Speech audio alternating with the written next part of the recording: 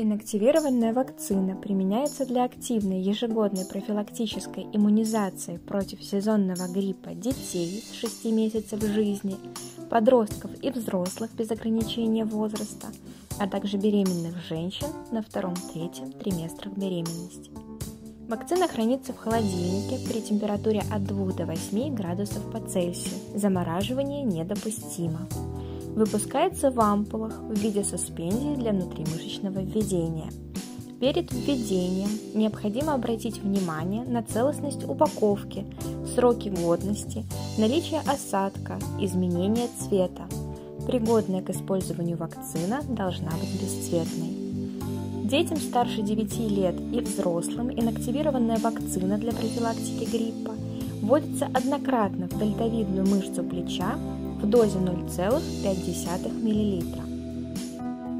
Для мониторинга состояния пациента и предупреждения возникновения возможных поствакцинальных реакций после введения вакцины пациент в течение 30 минут находится под наблюдением медицинского персонала.